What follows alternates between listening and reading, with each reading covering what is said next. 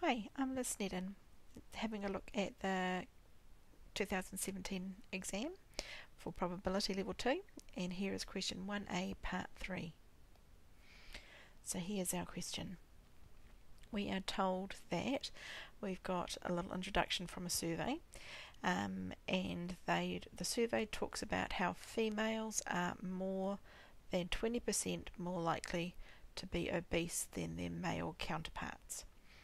Okay, so they've given us the table from the um, first part, and so we need to look at finding the chance of this. So it's talking about females more than 20% more likely. So as soon as I see those words more likely, that is my hint that what I want to do is find the relative risk. And in this case, I need to do one probability divided by another. And if I look at the question, it's going to help define what the probabilities are. So we need to, it talks about females are more likely to be obese. So I want to find what's the chance of being obese given that somebody is female, with what's the chance of being obese given that somebody is male. So those are the two things I want to find. So let me just write that here. So I want the probability of obese given female divided by the probability of obese given male. Okay, so let's look at first of all the females. So I'm just going to look at this row here of females. So there's 1,295 females. From those females, 285 of them are obese. So I'm going to say it is 285 over 1295. So from the females, that's how many obese females we have in the survey. Now we're going to look at the same thing for our males. So we're just going to look at this row here with the males. There's 1,205 males, and from them, there are 225 of them that are obese. So that is my probability.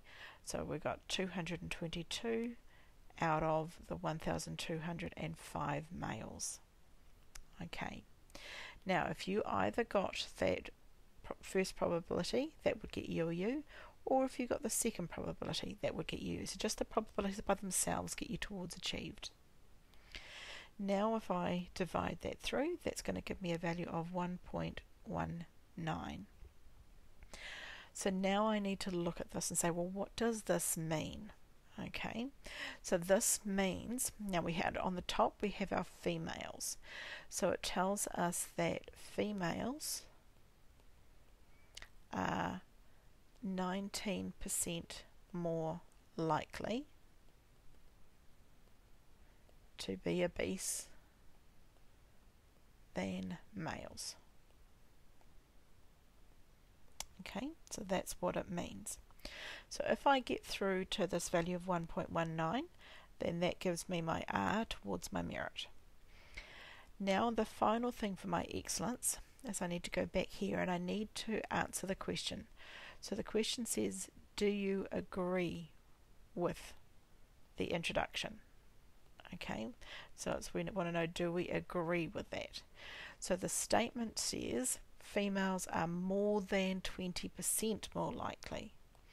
So that would be implying that this number needs to be more than 1.20.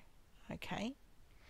Now ours isn't quite 19% is not, is not as much as 20%, so therefore I disagree. Okay, so I disagree with the claim. I agree with the article's claim as 19% is less than 20%. Okay. And if we get through to that, then that gets us um, an excellence. So if you got through to the conclusion and you compared with the 20%, then that would get you through to um, 1T. if you get through to, if you compare it to the inequality, so the inequality here, it talks about more than 20%. So in actual fact, that shouldn't I shouldn't have a greater than or equal to. That should be greater than. And so, because the article claims that it's more than, and we're disagreeing with that, then that would get us through to um, 2t. Thanks for watching. There's a link to there to my website, and you're welcome to watch more the playlist of videos, other videos in this series, um, along with my channel there, and you can subscribe to that.